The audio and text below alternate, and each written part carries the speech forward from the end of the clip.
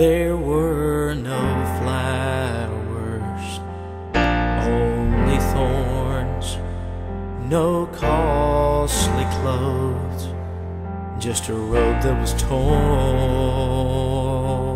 And he never gave me diamonds or gold, but the story of his love is the greatest ever known.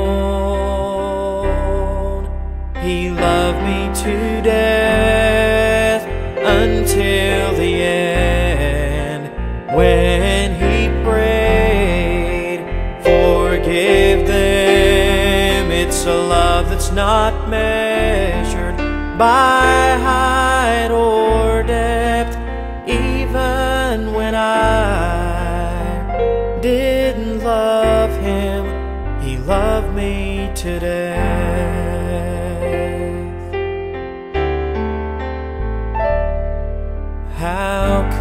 You love someone like me as undeserving as I can be? I don't deserve his mercies and I don't deserve his touch.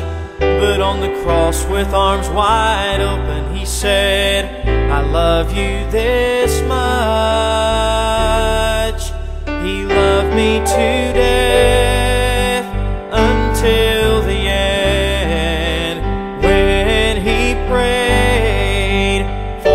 Give them. It's a love that's not measured by height or depth, even when I didn't love him, he loved me today.